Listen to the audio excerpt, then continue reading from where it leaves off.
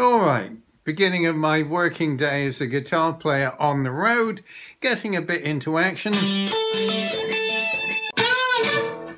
Bollocks.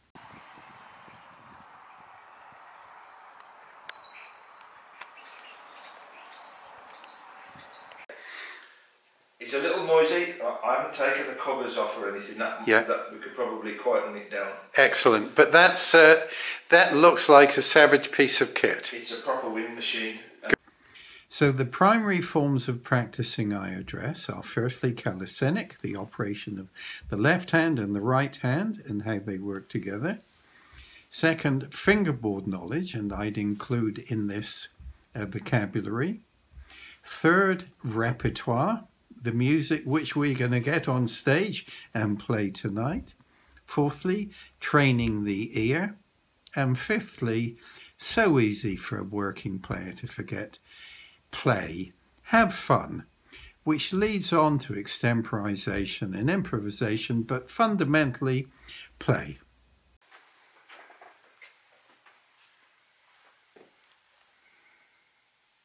So it's rare that our five primary forms of practicing are balanced. For example, if we're working hard, going into shows every night, sight reading, and so on, we're not likely to be able to develop our calisthenics. If we're working on a particular repertoire, similarly. And right now, I'm working hard on learning a repertoire I haven't had the good fortune of being able to play before, and certainly learning this repertoire in a tuning I haven't used for 35 years. So, my calisthenic practicing is not at the standard or the level to which I'm accustomed. So, what to do about this? Well, I've been catching up a little and looking at the weaknesses in my left hand. I'll Demonstrate this. Well, this is on a very low setting. Well, why not turn it up? I can. I want me on my motorbike. Yeah, all right.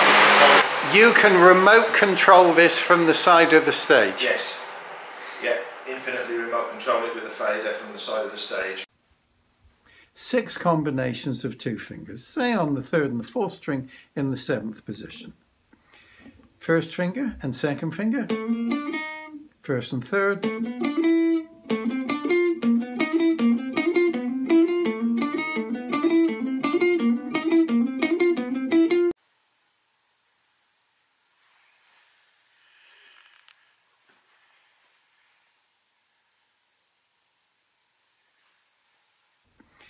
first finger and second finger, first and third,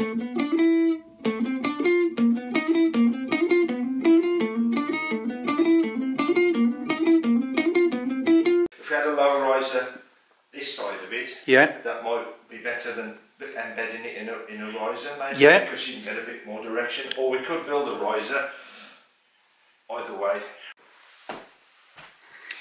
So here we are, Mr. Johnson, 1763. Uh, trunk that's been around for quite a long while, and I have just pressed this into service and moved some of my old files here. Old fans, old business.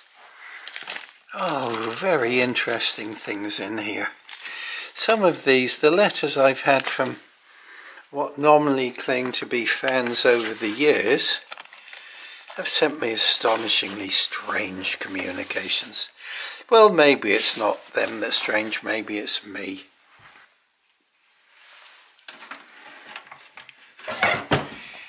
Thank you, Mr. Johnson. Although we'd never met personally, I wish you well wherever you are now.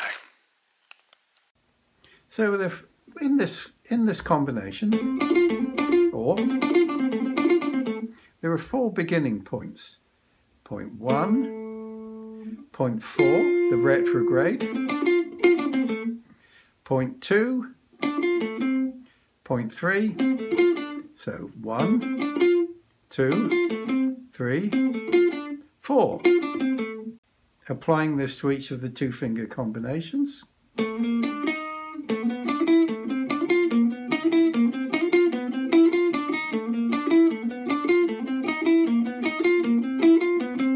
So Bugaboo, this is a late Valentine's gift because it was on its way from New York to you because I love you.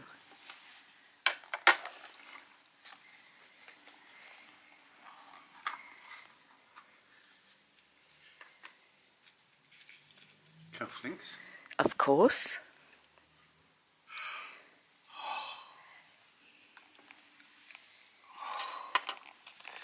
Lovely. Oh, wow. Handmade. Oh, lovely. Lovely. Look at this. Made in New York. Belated happy Valentine's. I love you, wife. Thank you. I love you, darling.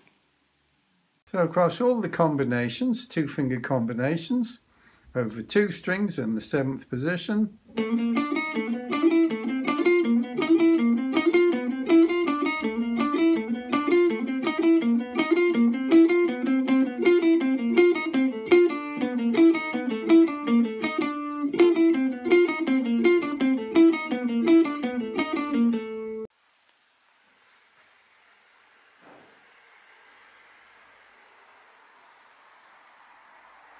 What I found most useful is to move this from a simple 4 to a 6.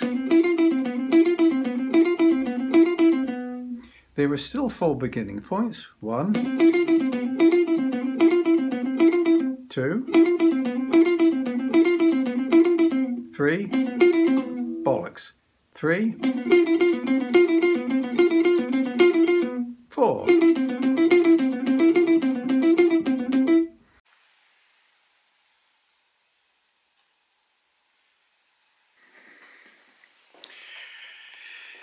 So Danny from Roadrunner Records has very generously sent us three Slipknot albums on vinyl